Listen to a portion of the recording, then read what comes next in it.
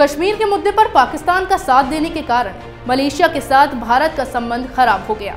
भारत ने मलेशिया से palm oil का आयात कम कर दिया। मलेशिया के बदले भारत सरकार ने इंडोनेशिया से पाम ऑयल खरीदने को तरजीह दी है। इससे दोनों देशों के बीच संबंध बेहतर हो रहे हैं। अब मलेशिया की यूनिवर्सिटी में भाजपा का इतिहास पढ़ाया जाएगा। क्या है पूरा मामला? देखिए इस रिपोर्ट।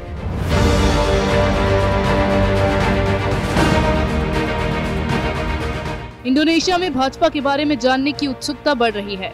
दो चुनावों में भारतीय जनता पार्टी की लगातार जीत के बाद इंडोनेशिया के इस्लामिक यूनिवर्सिटी के सिलेबस में भाजपा के इतिहास बताने वाली किताब को जगह दी गई है। शांतनु गुप्ता की किताब, भारतीय जनता पार्टी, अतीत, वर्तमान एवं भविष्य, विश्व के सबसे बड़े राजनीतिक दल की कहानी, को यूनिवर्सिटी के पाठ्यक्रम में रखा गया है।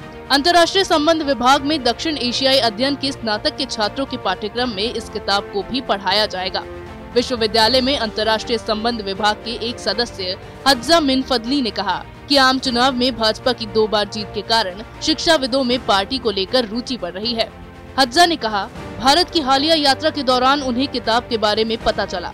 इंडोनेशिया के लोग भारत के साथ हमारे संबंधों को और मज़बूत करना चाहते हैं। और इसीलिए सत्तारूढ़ पार्टी भाजपा को समझना महत्वपूर्ण है। हमें उम्मीद है कि भाजपा भी ऐसा ही चाहती है। दरअसल पिछले कुछ सालों से भारत और इंडोनेशिया के बीच संबंध मज़बूत हुए हैं। हाल की कुछ घटनाओं ने दोनों के संबंधों को और मज़बूत किया है। इसी कारण इंडोनेशिया में भी भारत की सत्तारूढ़ पार्टी के विचारों के बारे में जानने की उत्सुकता बढ़ी है। इसे लेकर इंडोनेशिया के शिक्षाविदों ने भाजपा के इतिहास पढ़ाने के बारे में सोचना शुरू किया। इसके बाद वहाँ की यूनिवर्सिटी के सिलेबस में भाजपा के इतिहास पर लिखी शांतनु गुप्ता की किताब को जगह दी गई है, ताकि पार्टी के बारे में वहाँ के छात्रों को सही जानकारी मिल सके। भाजपा के बारे में दुनिया भर में भ्रम फैलाया जाता रहा है। नरेंद्र मोदी के प्रधानमंत्री बनने के बाद से अफवाह और तेज हो गई है। इस्लामिक देशों में तो नरेंद्र मोदी को विलेन की तरह पेश करने की होड़ मची रहती है, लेकिन इन देशों को सच्चाई का पता है। इसी के कारण कश्मीर के मुद्दे पर तुर्की और मलेशिया को छोड़कर किसी और इस्लामिक देश ने पाकिस्तान का साथ नहीं दिया। सभी ने इसे भारत और पाकिस्तान के बीच का मसला बताया।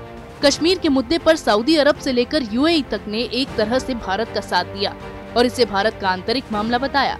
अब इंडोनेशिया की यूनिवर्सिटी में भाजपा का इतिहास पढ़ाया जाएगा, जिससे लोगों को इस पार्टी के विचारों का पता चल पाएगा। इंडोनेशिया दुनिया का सबसे ज़्यादा मुस्लिम आबादी वाला देश है। यहाँ भारत और पाकिस्तान से ज़्यादा मुस्लिम रहते हैं। लेकिन इंडोनेशिया के लोगों को भाजपा के बारे में जानने की ज़रूरत पड़ रही है, क्योंकि पिछले दो लोकसभा चुनावों में भाजपा की जीत हुई है। इसके कारण वहाँ के छात्रों को इस पार्टी के बारे में बताकर कई तरह के भ्रम दूर करने की कोशिश की जाएगी। इसी तरह की खबरें मैं आपके लिए लाती रहूँगी। तब तक के लिए बने रहिए हमारे साथ। अगर आपको हमारा वीडियो पसंद आया हो तो इसे लाइक करें, हमारे चैनल को सब्सक्राइब करें, और हाँ बेल आइकन दबाना ना भूलें। ताकि आप तक हमारे वीडियो की नोटिफिकेशन पहुँचती रहे।